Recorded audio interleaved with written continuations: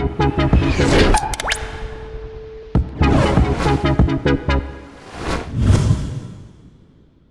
Salve a tutti ragazzi e benvenuti su Elite Gaming, benvenuti su Titanfall 2 in questa nuovissima guida dedicata ai Titan e nel corso di questo video voglio analizzare il Titan Legion, mostrandovi quelle che sono le sue abilità, punti di forza e debolezza e indicarvi quali sono a mio avviso il kit Titan, il kit Legion e il kit Titanfall migliori da utilizzare. E iniziando subito, Legion come modello di Titan sarà un tank piuttosto massiccio, scarsa agilità, elevata salute ed elevati danni. L'arma che utilizzerà sarà il cannone Predator, una mitragliatrice a canne rotanti avanti con due modalità di fuoco, uno per il close range e una più precisa per le lunghe distanze. Arma non troppo efficace sul colpo singolo, ma in grado di infliggere danni continui e consistenti sulle lunghe raffiche. L'abilità nucleo sarà astuzia. Quando attivata vedremo l'interfaccia olografica cambiare, avremo munizioni infinite, quindi per tutta la durata non dovremo ricaricare e agganceremo automaticamente i bersagli sia ai Titan che ai piloti. Dunque non dovremo nemmeno preoccuparci di prendere correttamente la mira e questa abilità ci consentirà di uccidere molto facilmente i vari piloti che proveranno ad esempio ad agganciarci o ad aggirarci, eventuali piloti che si lanceranno fuori dal proprio Titan, ma ci permetterà anche di non mancare un singolo colpo anche contro i Titan stessi. Dovremo dunque valutare correttamente quando attivare questa abilità, data la sua durata limitata.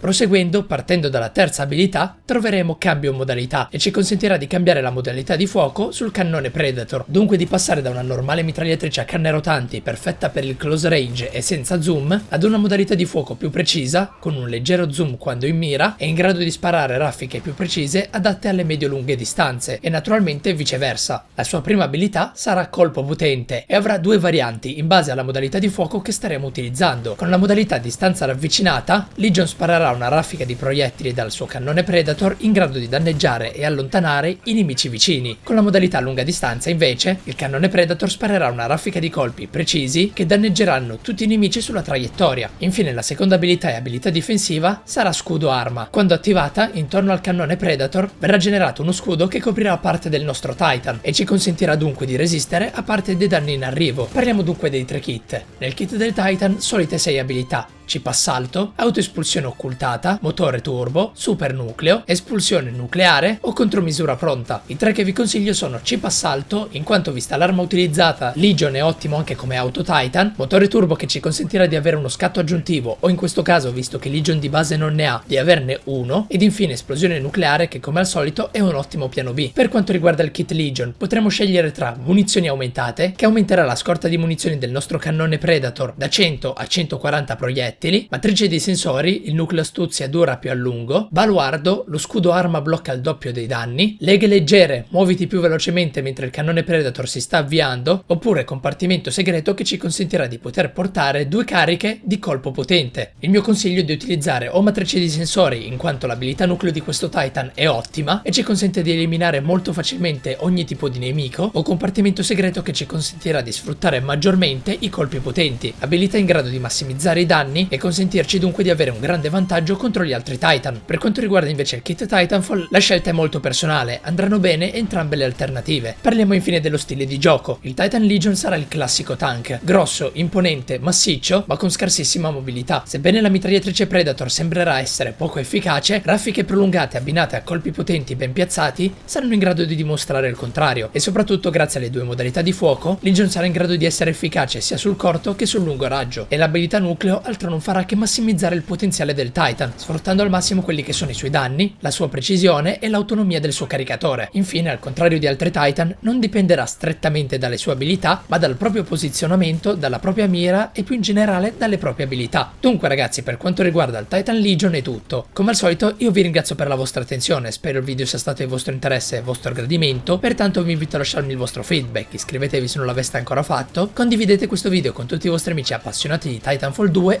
noi ci sentiamo alla prossima. Ciao a tutti ragazzi!